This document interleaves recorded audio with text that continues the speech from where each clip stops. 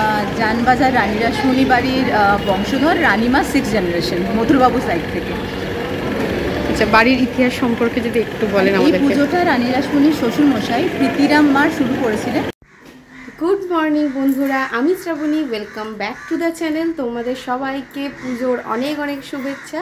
তো দেখো সকাল সকাল রেডি হয়ে গেছি তো হ্যাঁ সকাল সকাল এখন বাজে নটা পঁচিশ বাজে। তো আজকে আমরা যাচ্ছি জানবাজারে রানী রাসমণির বাড়িতে।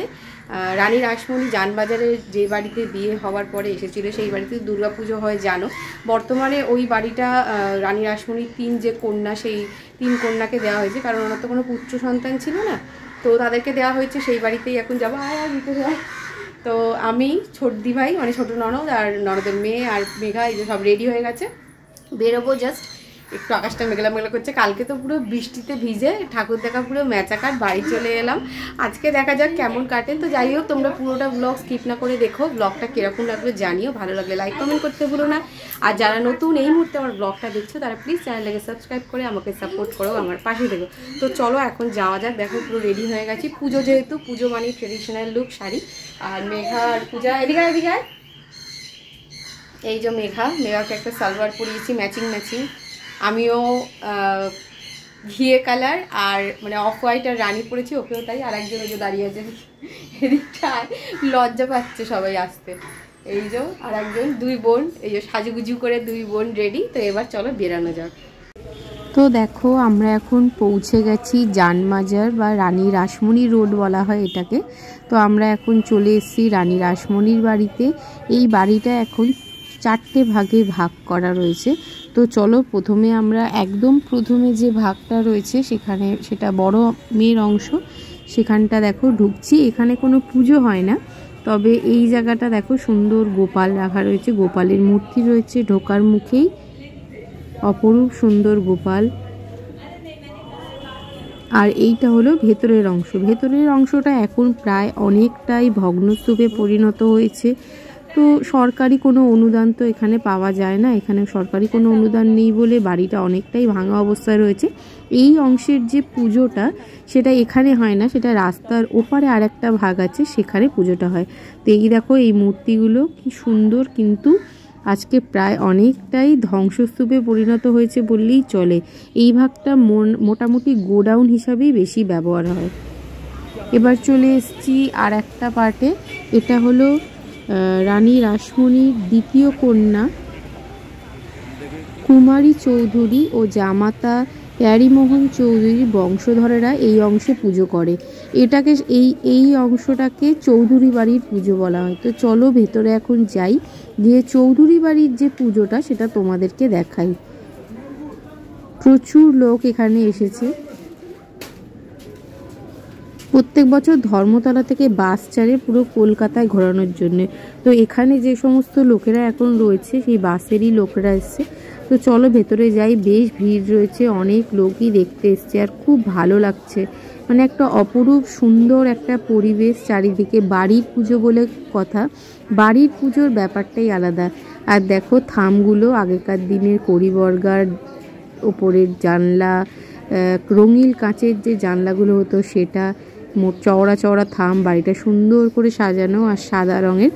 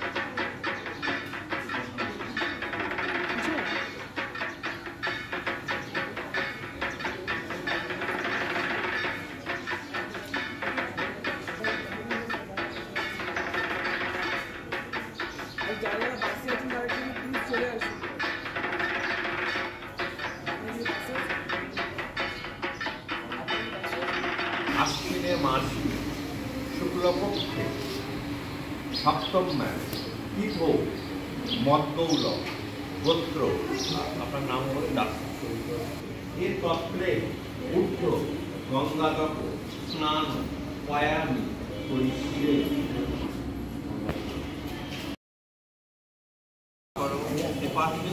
দীনবন্ধু জগৎ পথে গোপীশ গোপিকাকান্ত, রাধাকান্ত নমস্তে নম। ত্রৈলক্ষ পূজিত সদা শ্রীমৎ বিজয় বর্ধন শান্তি কুরু বদা পানি ঋষি সুকল ছন্দ কুর্ম দেবতা আর্তন, উপবেশন বিনিয়াম নম পৃথিবীটা নেতা লোকা বিষ্ণুনা নেতা কঞ্চধারায় মান নিত্যম পবিত্রমপুরু শাসনম যানবাজারের প্রায় অনেকটা অংশ জুড়ে রয়েছে রানী রাসমণির বাড়ি। তো এটা আর একটা ভাগ, এই ভাগটা রানী রাসমণির ছোট জামাই মথুর মোহনের ভাগ। এই ভাগে তার বংশধরেরাই বসবাস করে, তবে অনেকেই এখন বাইরে থাকে। এই দুর্গাপুজোর সময় সবাই এখানে এখানে উপস্থিত থাকে। তো এখানেই সর্বপ্রথম দুর্গাপুজো চালু হয়েছিল। রামকৃষ্ণ সখী বেশে দুর্গাপুজো এখানে চালু করেছিল। এখানে রয়েছে অফিস রুমও বলা হয়, বাড়ি বলা হয় এই বাড়িটাকে। কারণ রানী রাসমণি এই বাড়ি থেকেই বিভিন্ন যে সমস্ত কাজ, সব অফিসের কাজ, সমস্ত কিছু মথুর মোহনকে সঙ্গে নিয়ে এখান থেকেই সে চালনা করতো।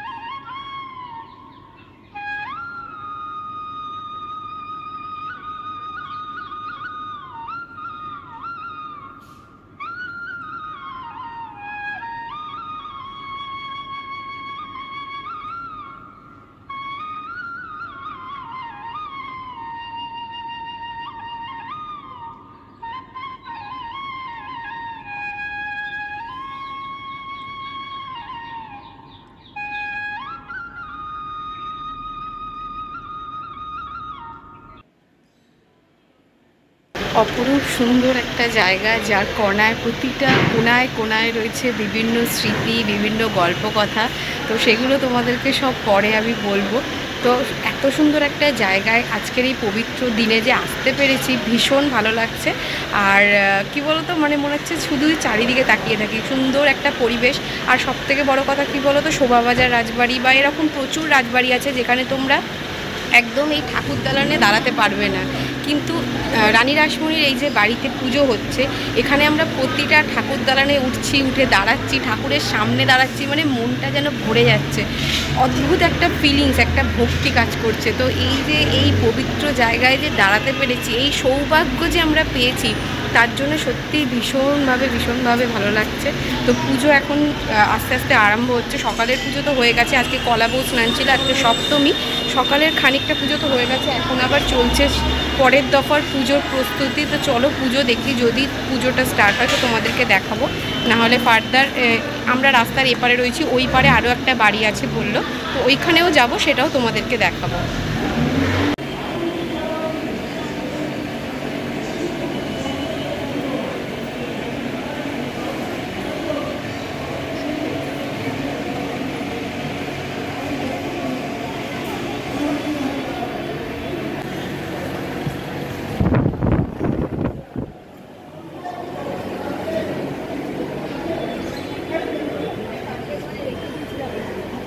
আমি জানবাজার রানী রাসমণি বাড়ির বংশধর রানীমা সিক্স জেনারেশন মথুরবাবু সাইড থেকে। আচ্ছা বাড়ির ইতিহাস সম্পর্কে যদি একটু বলেন এই আমাদেরকে। পুজোটা রানী রাসমণির শ্বশুর মশাই প্রীতিরাম মার শুরু করেছিলেন। তারপর আহ, রানীমার সময় এর বারবারন্ত হয়। আমরাও এখনও চেষ্টা করছি যতখানি সম্ভব আজকালকার দিনে সেই ট্র্যাডিশনটা মেনটেন করার। এগুলো সত্যি খুব ভালো। মানে আর সব থেকে বড় কথা সাধারণ মানুষের জন্য এইভাবে খুলে দেওয়া হয়েছে মানে যেটা দালানে ঠাকুর শ্রী রামকৃষ্ণ সখী বেশে পুজো করেছে আচ্ছা। আর সব থেকে ভালো লাগছে যে এখানে এইভাবে সবাই আসতে পারছে। সমস্ত রাজবাড়িতে তো এইভাবে সাধারণ মানুষদের প্রবেশ করতে দেওয়া হয় না? আসলে যেটা এখানে দেওয়া হচ্ছে। মানে জনসাধারণের রানী হ্যাঁ, হ্যাঁ, তো হ্যাঁ। তার বাড়িতে আমরা ওই রেস্ট্রিকশন ব্যাপারটা যতখানি কোভিডের সময় কিছুটা আমাদের রাখতে আচ্ছা, হ্যাঁ, সেটা তো রাখতেই হবে। জেনারেল এখন অনেকটাই আমরা রিল্যাক্স করেছি। থ্যাংক ইউ খুব ভালো লাগল এখানে এসে।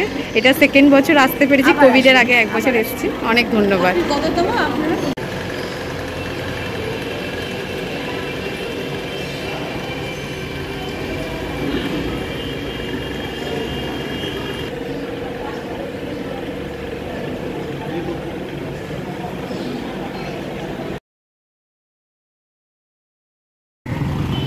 দেখো রাস্তার ওই পারে দেখতে পাচ্ছ আর একটা বাড়ির অংশ রয়েছে। তো চলো এখন ওই পারটা যাই।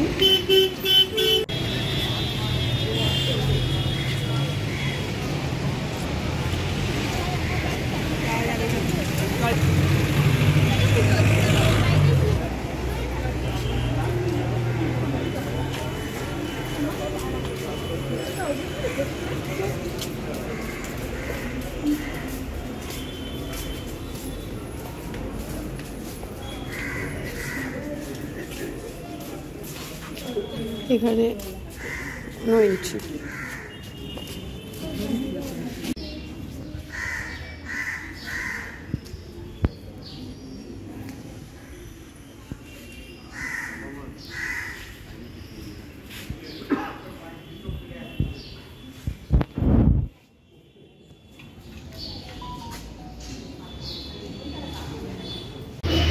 এখন ভেতরে চলছে বলির পর্ব, তো ওই জন্য আমরা একটু বাইরে এসে দাঁড়ালাম, কারণ সত্যি কথা বলতে এরকম বলি বা কিছু বড্ড কীরকম যেন লাগে। এখনকার অনেক জায়গাতেই, অনেক বনেদি ফ্যামিলিতেই বলি বলিটা বন্ধ হয়ে গেছে। লাউ, কুমড়ো এইসব বলি দেয়, বাট এখানে এখনও ছাগল বলি হয়।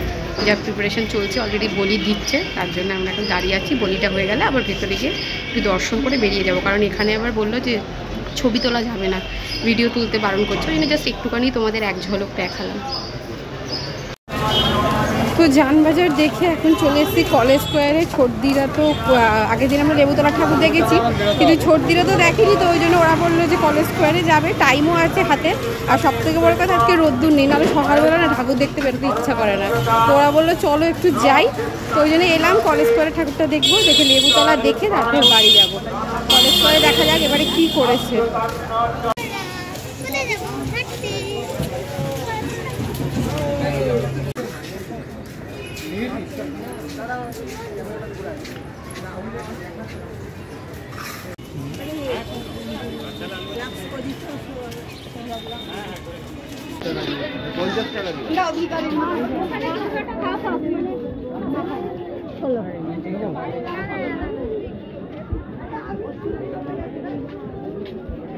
কোথায় যাব হাঁটতে সাত